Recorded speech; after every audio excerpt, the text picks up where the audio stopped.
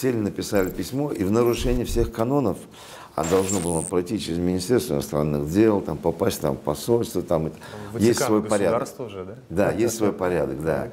А оно в Ватикан попало очень простым-простым путем, так, от меня прямо к папе римскому, условно говоря.